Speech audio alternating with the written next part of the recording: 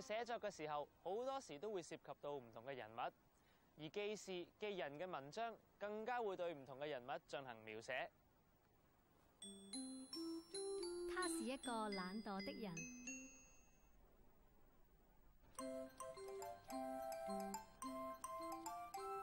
我在努力地温習。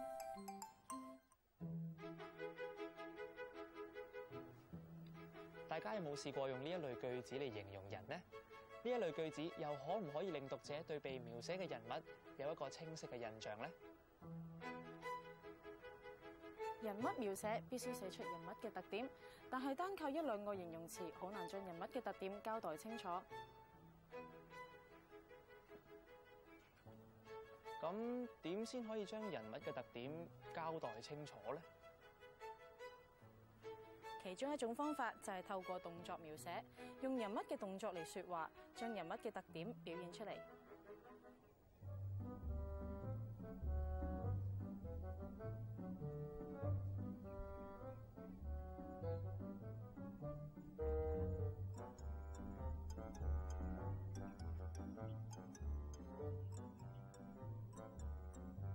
還沒爬到半山腰，我一步三喘，兩條腿像灌了醋似的，酸得抬不起來。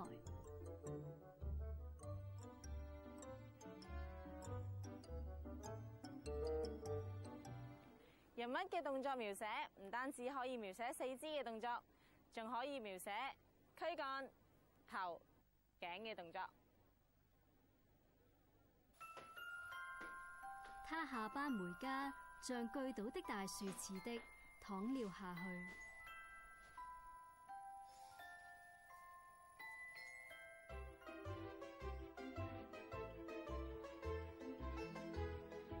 另外，人物嘅面部表情變化，亦可以放喺動作描寫嘅範疇入邊。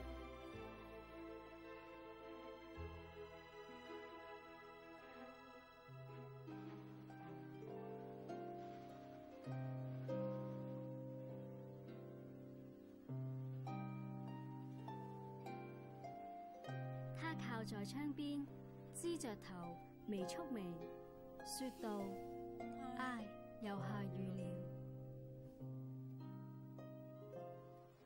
人物動作嘅描寫要達到兩個基本要求：第一，要令讀者清楚知道被描寫嘅人物所做嘅係乜嘢事；而第二就係要令讀者知道被描寫嘅人物係點樣做嗰件事。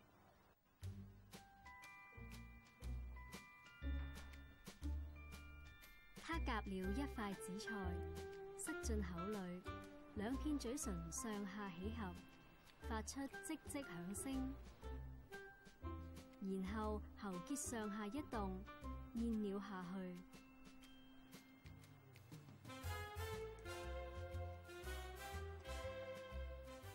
大家可能有寫過人食飯嘅情況，但係大家有冇試過好具體咁樣描寫一個人點樣夾餸、點樣咀嚼同埋點樣吞食物落肚呢？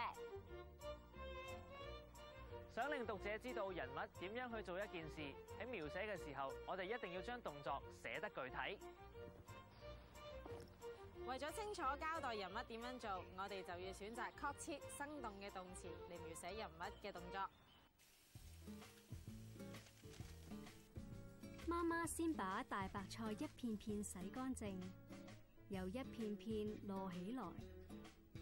左手按住菜，右手拿起刀，一刀一刀地切着，把大白菜切成一个个小方块。啱啱嗰段文字入边，作者用咗洗、落、按、拿、切呢五个动词去描写妈妈嘅动作。呢五个动词每个都反映一个特定嘅动作，令人清楚知道妈妈点样洗菜、切菜。洗、摞、按、拿、切。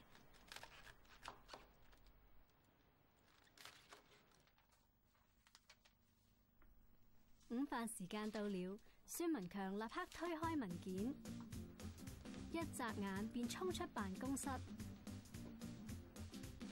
穿過長長的走廊，呼地越過街上的人群，用百米速度橫過馬路。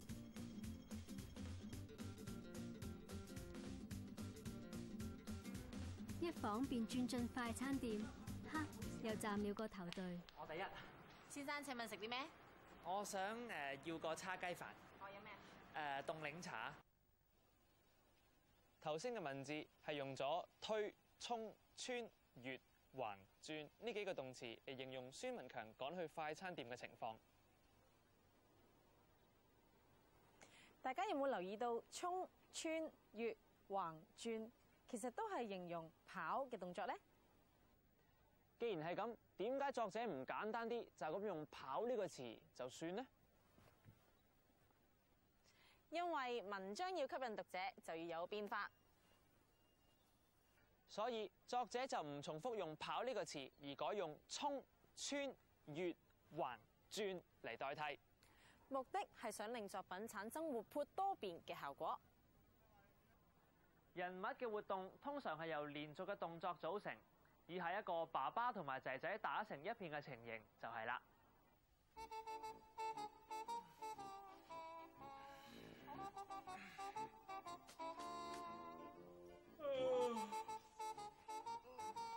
喂呀！你拎埋接我嘅？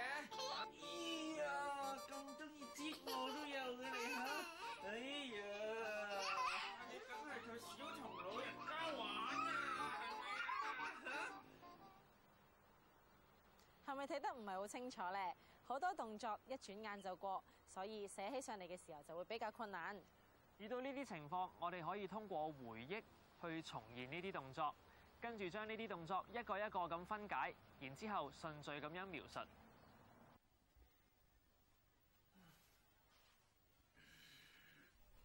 他微笑坐下，拍拍長褲的灰塵，正要伸個懶腰，沙發旁卻伸出一隻小手搔他的翼底。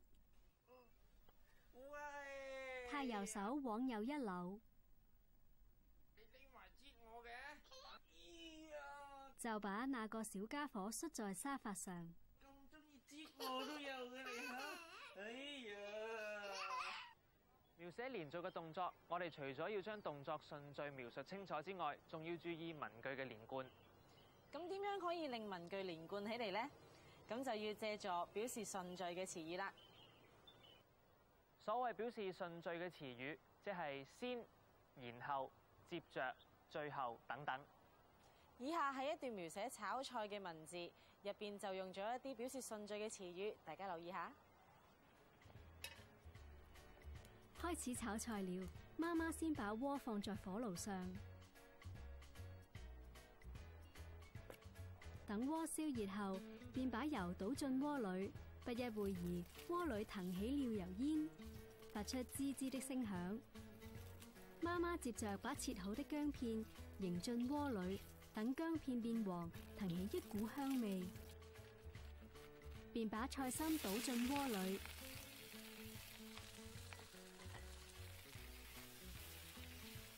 然後抄起鍋鏟，不停地翻動着。菜漸漸熟了，媽媽撒上鹽，再用鏟子翻炒了幾下，最後便把菜心上碟。於是一個清炒菜心便完成了。呢段文字入邊用咗先、接着、然後、再、最後呢幾個表示順序嘅詞語。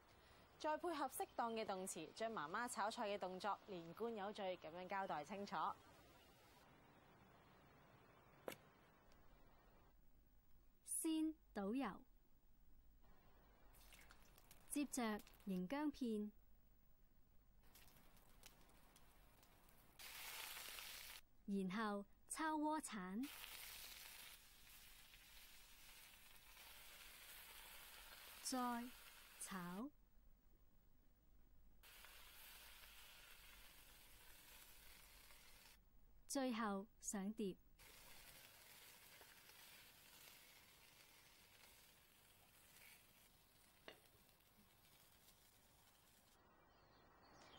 具体嘅人物动作描写可以令读者清楚知道人物做紧啲乜嘢事，同埋佢点样做嗰件事。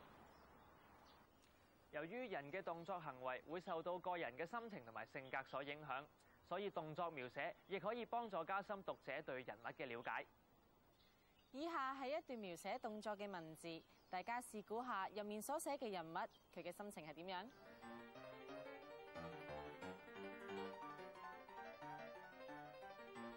他雙手搓着，來回急急地走動，像站在燒紅鐵板上似的。喺呢段文字入邊，作者透過描寫人物搓住雙手急急來回走動嘅動作，嚟表現出人物焦急嘅心情。雖然作者冇用到焦急呢一個詞語，但相信大家睇到具體嘅動作描寫之後，都會清楚知道被描寫嘅人物心情焦躁不安。睇完心情影響動作嘅例子之後，我想大家做一個心理專家，就係根據以下片段入邊人物嘅動作嚟分析一下佢嘅性格。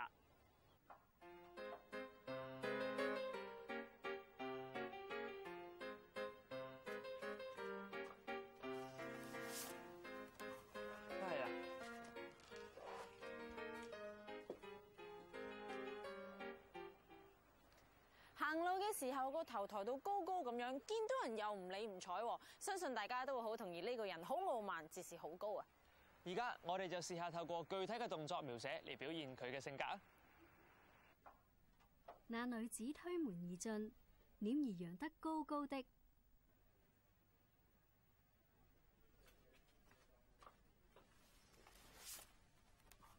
係啦。碰見人，只是撥一撥飄飄的長髮，跟誰也不答話。成功嘅動作描寫可以令人物活現喺讀者嘅眼前。要將人物寫活，觀察係不易嘅法門，所以我哋平時一定要多啲觀察，留意下人物喺特有嘅情景底下嘅動作同埋行為。咁到咗寫作嘅時候，就可以因應需要，將人物嘅動作、形象生動咁描繪出嚟。